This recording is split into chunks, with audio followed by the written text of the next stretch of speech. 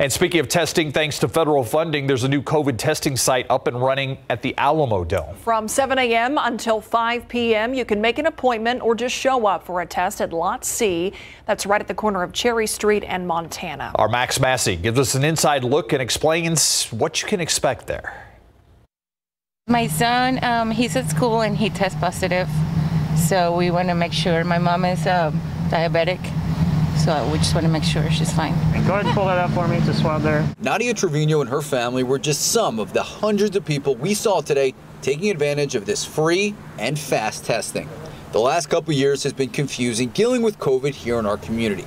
But with this new wave, people are once again on edge.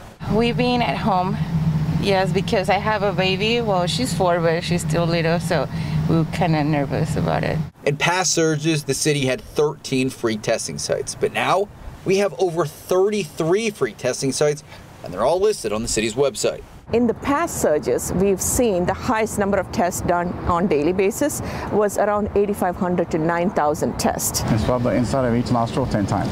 Now we are documenting upwards of 11,600 tests per day. And with this huge influx of more testing, if you get your test, you may have to wait longer to find out the results. At this time, it is anywhere from 48 to 72 hours, but we really expect it to go up, up to 96 hours once the number of tests go up, you know, because of the sheer volume of the test itself. Max Massey, KSAT 12 News.